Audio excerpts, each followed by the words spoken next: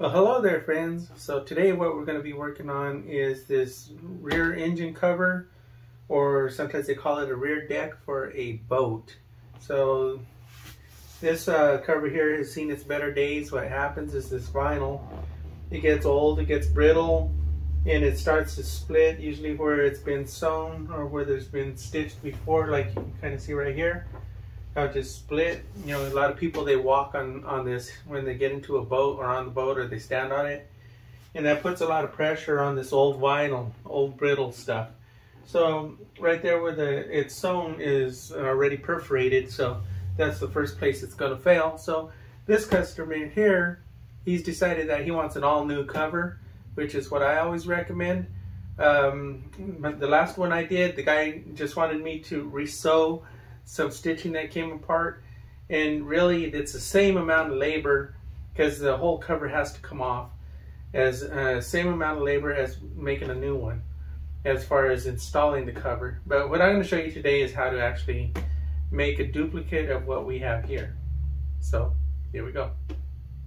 So the first thing that I do is I go around and I do all my marks my reference marks so what I do is wherever there's like an intersection like this is where we usually mark it. And then also where there's no intersection, but I want to make sure that I'm putting it back together in the right place. I put these marks here, one in the middle, and usually on corners. So you'll see right here where there's an intersection right here, and I marked the intersection as well as the corner. So I'm going to go around and I'm going to do that on each one of these. And something I just noticed, you can probably see it right there, where the seam is high on the right side here and it goes down. And it doesn't really match the seat, or it doesn't match the, the cover here, the shape of the cover. So what I'm going to do is I'm going to change that pattern. And what I'm going to do is I'm actually going to mark a line on that edge and we'll, we'll make it a better cover, better than what it was before. So it's going to change that pattern just a little bit. But the end result will be a better pattern. Because if I duplicated this and it fit like this with the new one, everybody'd say, oh, look at, look what he did. He didn't do a very good job. So I don't want people to say that about me. So we'll just continue here. You can see these intersections. There's one right here. We'll mark that because it's going to help us put it back together later. So where there's a, a like this one here, what I usually do is I'll put one or I'll put two marks, reference marks here. That way I know exactly where it goes back together. This one here is a long one. You can see how long that is. So what I'm going to do is I'm going to go ahead and put probably three marks for that one. That way I know where that goes back together. And I will do the same for this one right here. You can see I, I put some already. I put them in the corners, one in the middle corner so right here, I'll just put one here to match it in the middle. And you can see right here, there's an intersection where this seam here ends right there. So I'll mark that. And what else we got? Um, I think I'll do these ones. And I'll do the corners. Do the same thing here. Actually goes over that. Oh, that's weird. Look what they did there. Okay. Mark the corner there. And I think that's it. Now I'm going to start taking this cover apart. So, here we go. If you've ever seen any of my other videos, you would see that there's a couple different ways of taking the seams apart what you could do is you could just take a razor blade like this. This is one method. Actually, let's do technique number 675. So what technique number 675 is, is to use the, the razor blade and just cut it right next to the seam. It's probably the fastest way, right? Time is money. And we will just cut it right on the seam. Later on when we go to make the new pattern, we just add that 3 8 inch back that we cut out. Okay, so that's that method.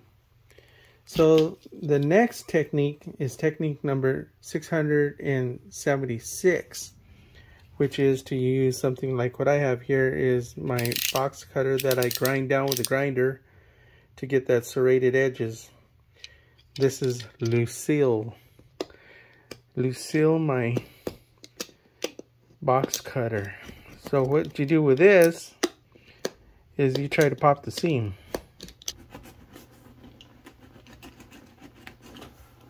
You can see once you get that going like that, then it becomes a lot easier because now I'm using two hands instead of one. But as you can see, this method here does take a little bit longer. So this is the method that you'll want to use if you have to save the vinyl. Because all you really want to do is just pop the threads. But if you're not saving the vinyl, I would I would stay with a technique number 675. So that way you move along a lot faster. So I'm going to opt for the razor blade method so that way I can make some good progress here. So technique number 222 is when I go to take something apart like I did this boat seat with multiple panels, multiple seat panels, this is a puzzle that's already been solved. The reason being is because when I take it apart, I don't take it totally apart. I leave it connected, just like that. So there's no guessing, right? Because how much time are you going to spend trying to remember where what part went where? And you know what, you're going to lose a bunch of time. So, you know, to keep things moving along on your project really nice, just when you go to take the pieces apart, leave them connected, just like that. That way you can use this here to refer back to when it comes time for you to put something back together again. So you can also probably see here where I made my marks just like you saw me do earlier. Here's a good example right here. So my marks are right here. So when I go to sew these two pieces back together again, I match up these two marks. You see that? So there's no guessing. Never want to have guessing because guessing will cost you money. Fast forwarding a little bit, you can see here that I cut everything up with the razor blade method.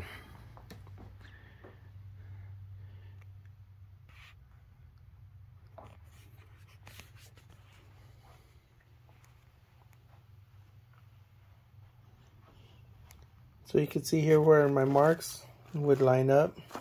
And I go back to sew everything back together again after I make my new patterns. Here's a good look at the way the listings are, are put together. So usually what you'll do is you'll remove like one of the pads like this and this re reveals the listing. This is what pulls the cover down to give it this 3D shape. So everywhere it's sucked in like this here, you know that there's going to be a listing in there. But then, of course, the people that are experienced would know that.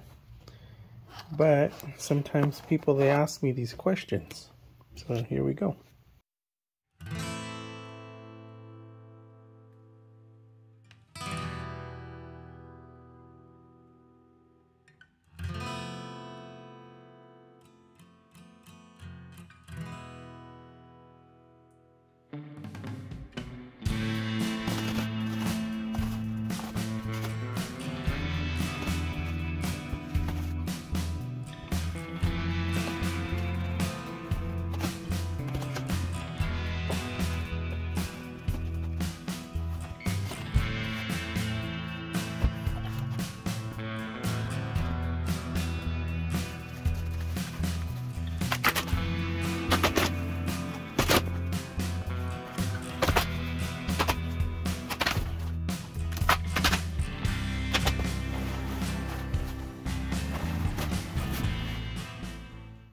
Next is drawing out the pattern. So being that I cut this with a razor blade, what I need to do is I need to add in that extra 3 eighths of an inch again that we're losing. So I come out on the outside here.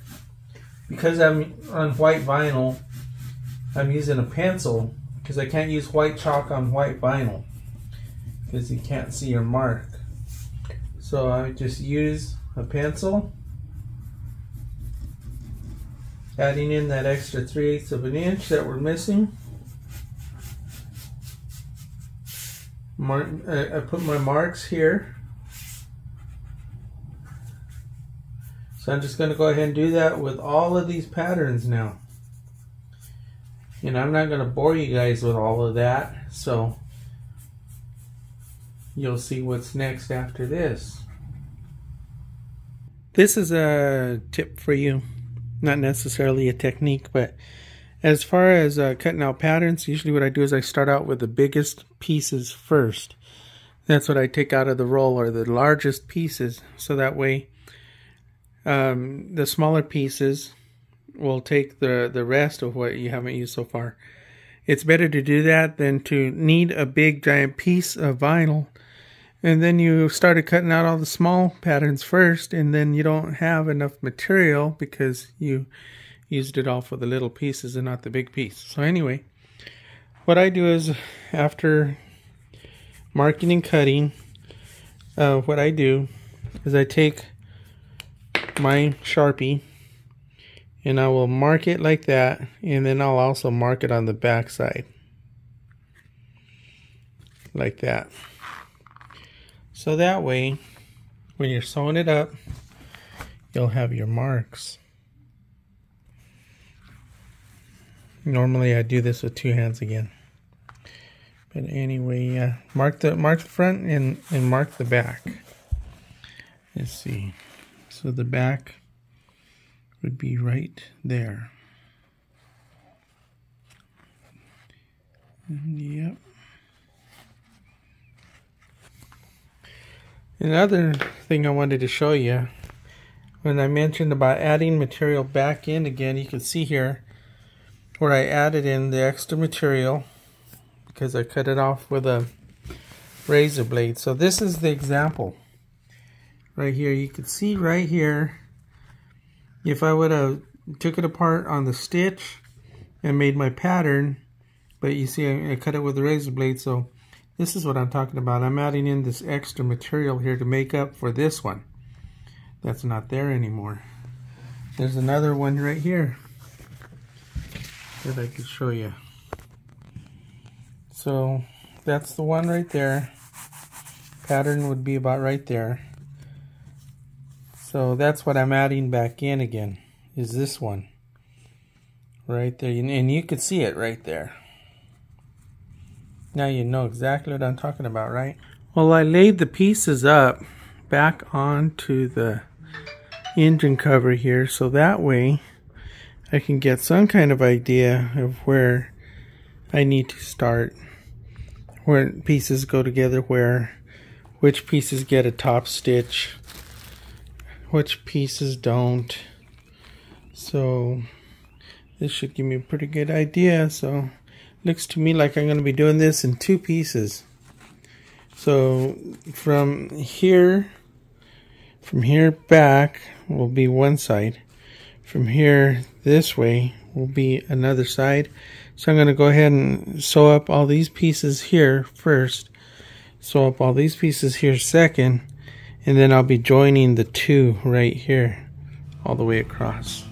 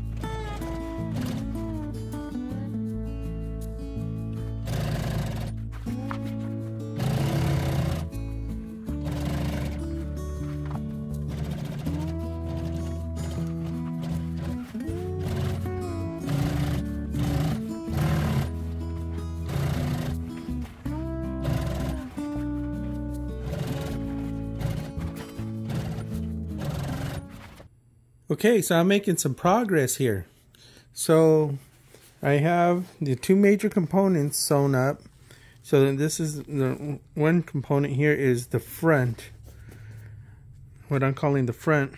And then this here is the second part, which I'm calling the back. So you can see there where they're not connected, that's what's next.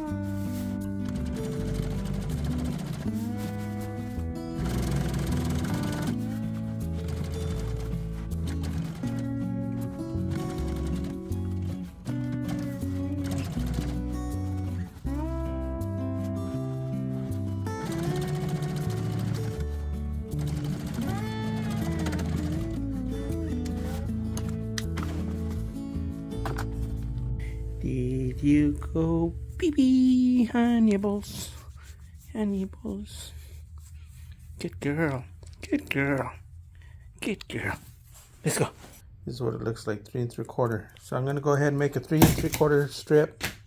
I'm gonna mark it, cut it, and then we get to sew on the listings. So it's real important to take the original width of, of the listing. You want to duplicate that. Okay, so that's next.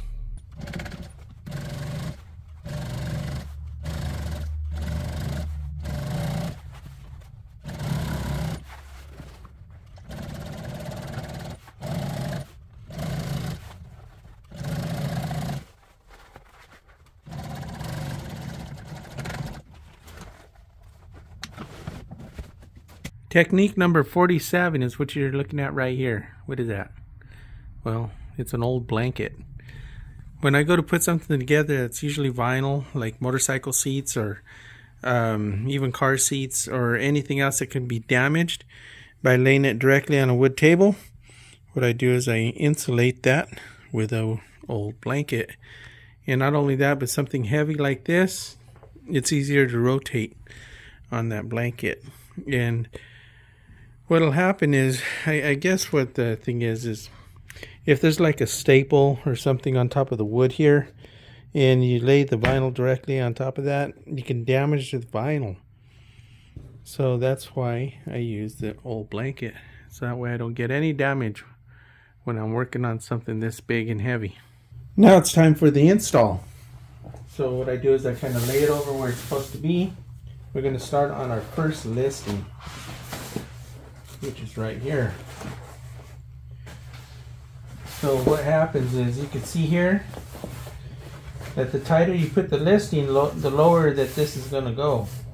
So you're going to want to adjust that. You don't want it to be too loose, and you don't want it to be too tight. So that's kind of what we want it to look like right there.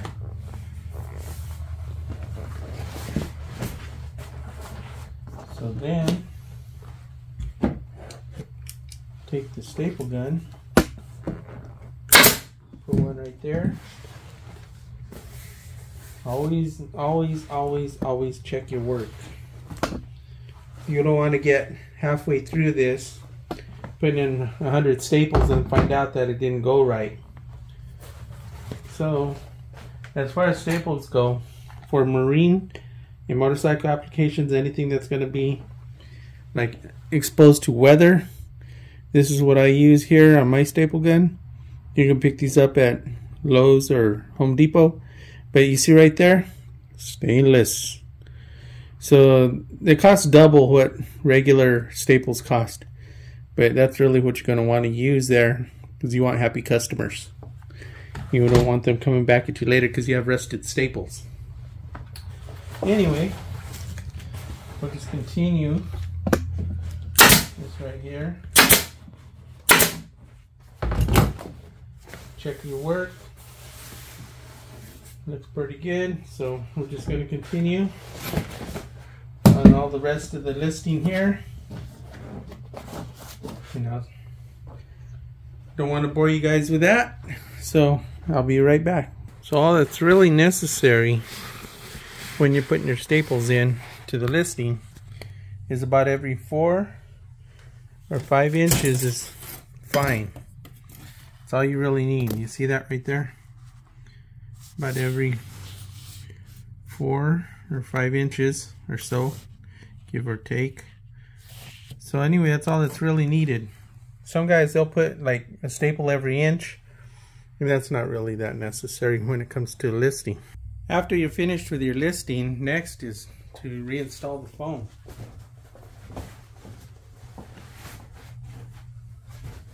So just put the foam back in its original position.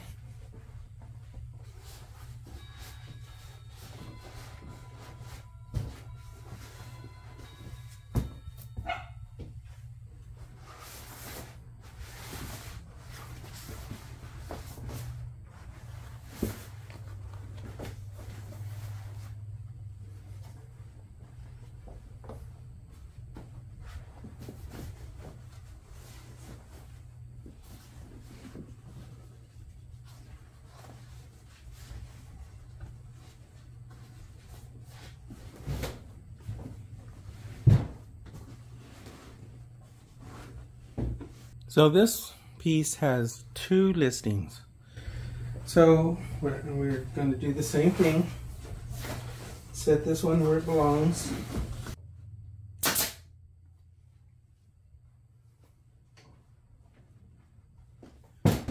I usually do the ends first, then I fill in the middle later.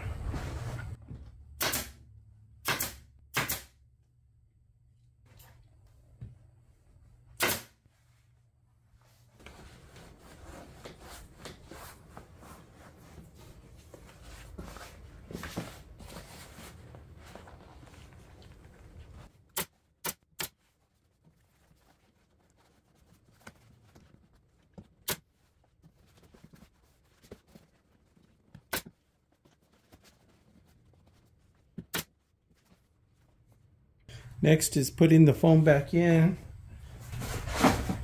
after you put all the listing in. Put the foam back in its original location.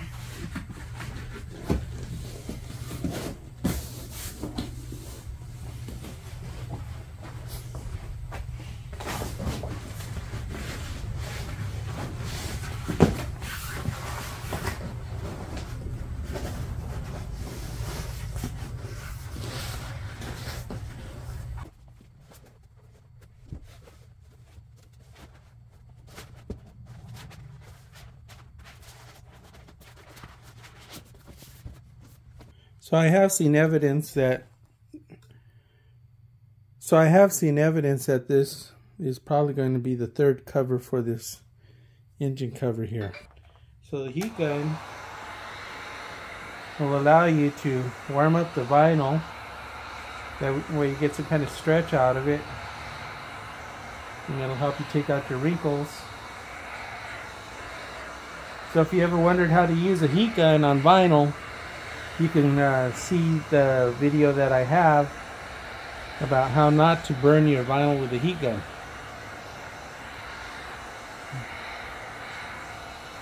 So warm it up real good.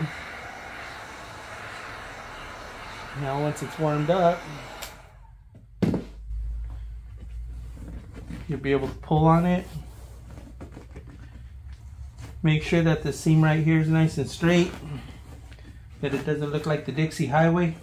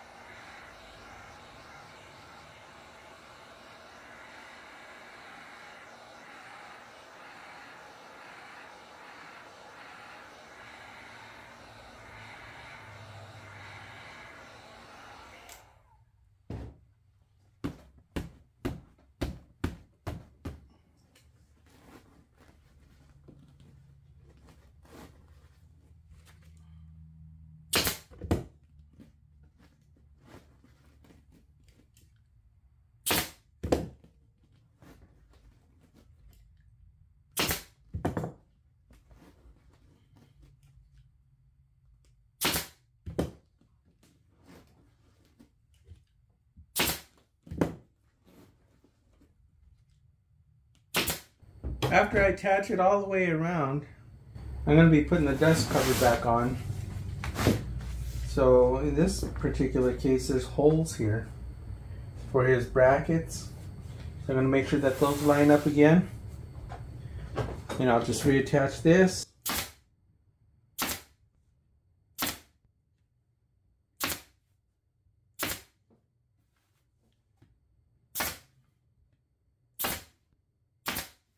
Be doing that all the way around. And then after that,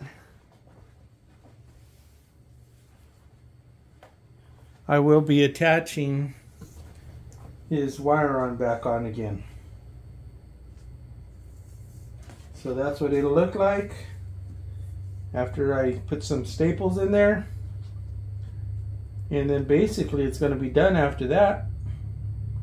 So I'm just going to keep on working here. Not going to bore you guys with that long drawn out scenes.